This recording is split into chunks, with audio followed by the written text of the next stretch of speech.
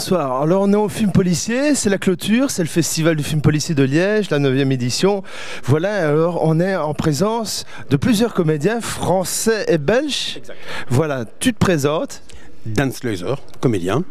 Et tu, euh, tu joues où, euh, dans quoi euh Il y, a- il y a plusieurs projets, dont avec Michael Ingracia.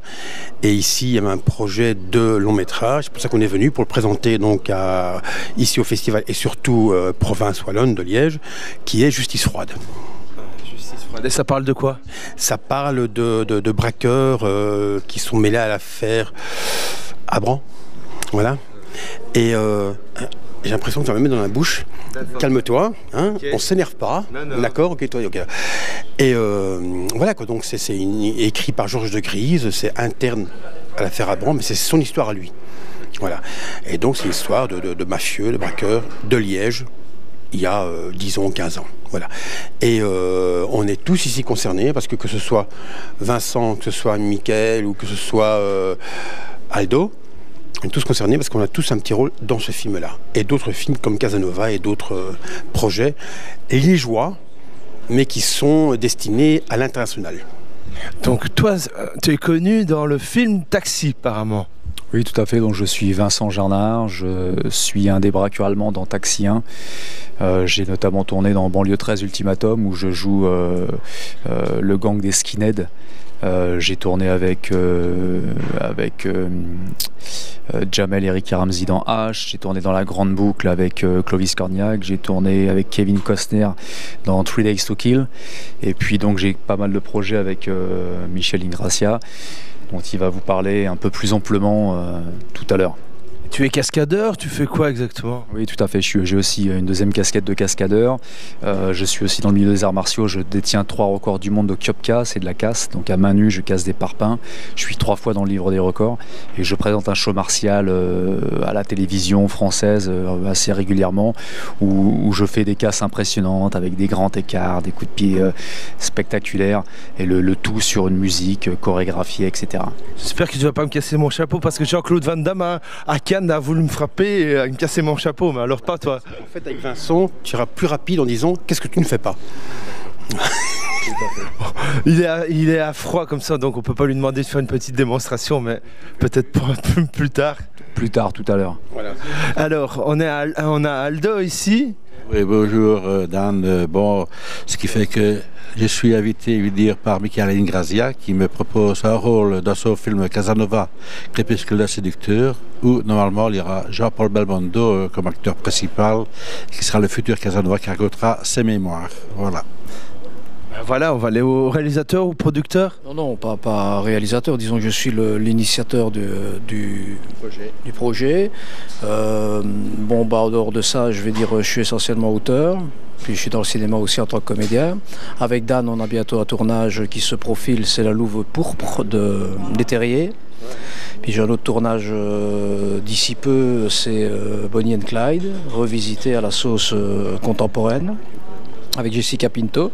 Et puis bon, bah, effectivement, il y a ce projet là qu'on tente de mener à bien depuis un moment déjà maintenant qui est Casanova, un gros projet euh, pour lequel on sollicite euh, les forces vives et économiques euh, de la région, ici à Liège, entre autres.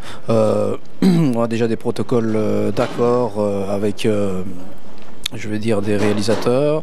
Moi, je, je cite pas de nom tant que le, clap n'a, euh, je vais dire, tant qu'on n'a pas dit moteur. hein, donc, euh, je reste très prudent.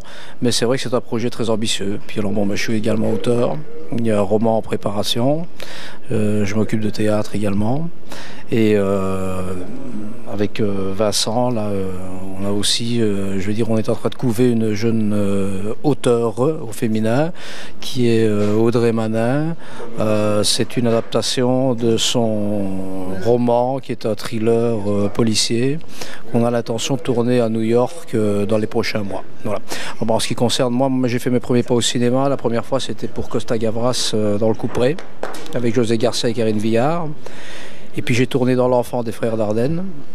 Et puis bon, ben, ça a commencé comme ça, puis une série de films. euh, je dire, on va pas dresser la liste, mais je suis assez, euh, assez protéiforme, quoi, plutôt. C'est plutôt l'artiste au sens large du terme. je ne me définis pas dans un cadre ou dans un autre. Voilà.